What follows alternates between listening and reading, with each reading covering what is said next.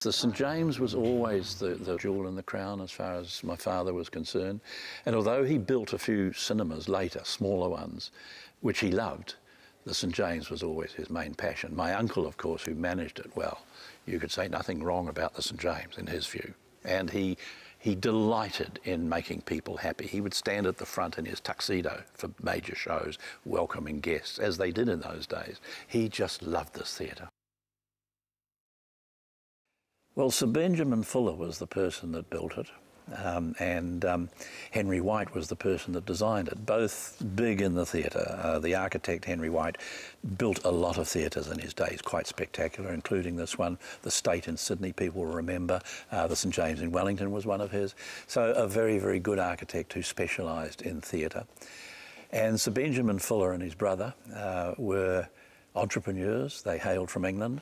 They came from a stage family, so they had theatre in their blood, I think, as most people do when they get it. Uh, and uh, they started uh, building theatres, live theatres, because that was the only entertainment of the day, um, live theatres around New Zealand. And the St James was one of them. And I think it was their, their best. They called it the theatre perfect. I think that's a perfect description of the St James. We should use that again.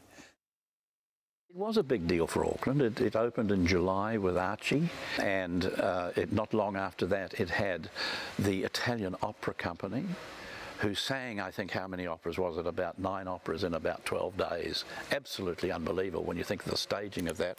And, and uh, you know, you, can you imagine going to an Italian opera in Auckland? We don't do that these days. It actually surprised me that they brought in movies so soon after the opening because it was built as a live theatre. But The Gold Diggers of Broadway, of course, was the first movie they showed here, and uh, that was apparently one of the, one of the first talkies. Uh, sound, uh, colour, quite amazing stuff. Certainly, I think in those early days, the St James was the place. I mean, it has always been a social hub of Auckland, and uh, you know, really almost right up to the end, it was you know it was it. That's where you went if you wanted to see great theatre or see a great movie. And I think that's half of the charm of the theatre, is that people have fond memories.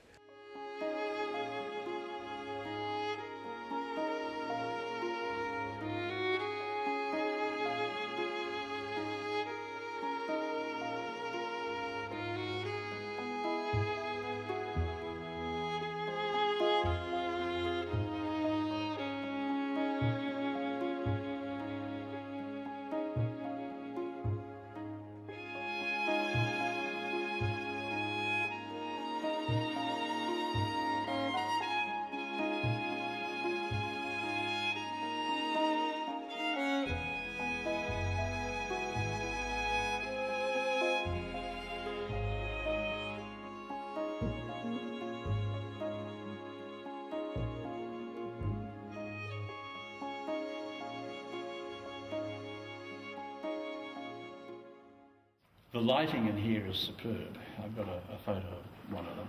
Um, when it all works. Yeah, when it works. Absolutely superb. It's, Yeah. it's I, I won't say it's wired for it because you'll have to replace all the wiring, I would guess, but um, it's certainly, you know, when it is lit, it is absolutely superb. Considering the age and what a, um, theatre you know it goes through, I'm, I'm quite surprised how tidy it is. I think there was major work done in the 80s Yeah, on the, on the, on the venue in terms of electrically and Yeah. mechanically. it's just really age that's caught up with it. Really, even if it's an old type cable, it's still relatively safe because there's no air for fire, and it's encased in metal for uh, for safety for earthing. So. Yeah. These are all originals, um, still okay. We can still reuse all these. I'm not sure at this stage just where they actually go. But no doubt we'll come across lights that aren't working and the more we get involved, the more we know just where these are going to go. What about the lighting around the edge of the proscenium? Around there? Yeah. Um, Uh, no, no, not the box, around the proscenium around the stage. Oh, up So here? You can see there's a few bulbs. Yeah, again, I would assume that they're, I would say they're almost exactly the same as what we've done here. We actually haven't got that far, No, no. but I would assume they've done exactly the same as what they've done with all these other facades. Just have the light hidden, so that. I mean, So that could be a, that'd be a prime candidate for strip lighting. Oh, absolutely. Yeah. I mean, and you could do it so easily too. I mean, what- stuff, you know, for what for what it costs for a, a five metre strip of LED, I could put an LED round there and that would just just come up beautifully. But again, uh, that's how they did it in those days.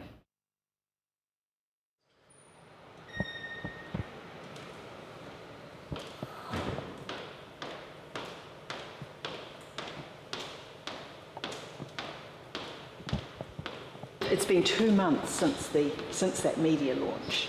How's the project been going? How are you feeling about it? Um, I'm actually feeling really positive about it. I think um, the more we know, the more we know what the problems are, and then we can find a way around them. Um, in, in reality, it's uh, yeah. Every t- every time we come in here, we find something new. Heritage people. Yep. Um, how have you found your dealings with the council's heritage unit? Uh, I've been dealing a lot with, uh, with Noel Reardon, the heritage manager, and um, you know he's great. He really is. He's really supportive, really understanding. It's great to see progress after all those years of just sitting. It's fantastic. At the moment, we're sort of putting together the whole restoration proposal. Um, but at the moment, it's all things like you know the, the painting of the walls, the wall colours. You know what exact shade are they going to be, and what's the technique used to apply that.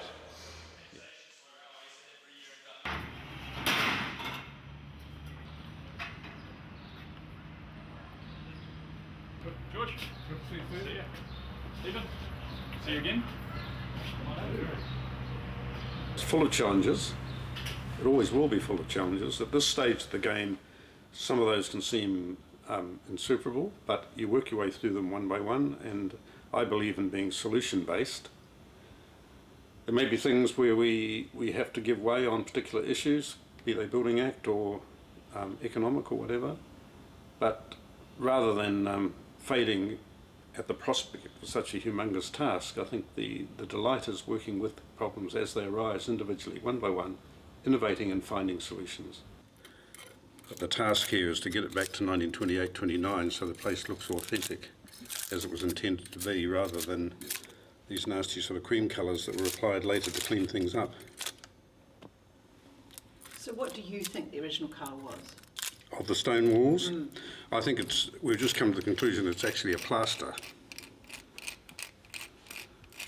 We've got a, a different surface colour on it here, which might need a bit more analysis. Um, it was a darker and slightly more lush colour than the later tendency to paint it creams and flat enamels. We're fairly lucky in that this, these particular panels don't seem to have been meddled with. So they may indicate precisely what we've got under all the different coats of paint in the rest of the building. In the Civic Theatre, relief panels like this were always gilded. We discovered that through scraping back, but in here we've got very dark bronze overcoat downstairs, but in these two particular panels there's no trace of that. An interesting aspect of this untouched piece of the false ashlar masonry is that the pointing colour, which is paint, um, has been clearly hand painted. Very, very accurately for the most part, just a few telltale traces of uh, over paint here. Maybe it was late Friday afternoon. In a hurry to get to the pub. The whole effect is basically designed to mimic stone, isn't it? That's what we're seeing here. So the, so it's not stone, it's plaster, but it's designed to look as if it's stony. Yep. And then we've got the very interesting thing of these capitals up here, with a rather blasé sort of grey and silver and bronze, but just round the corner of it, we've got the much more lush sort of dry brushed deco look, which is rather lovely.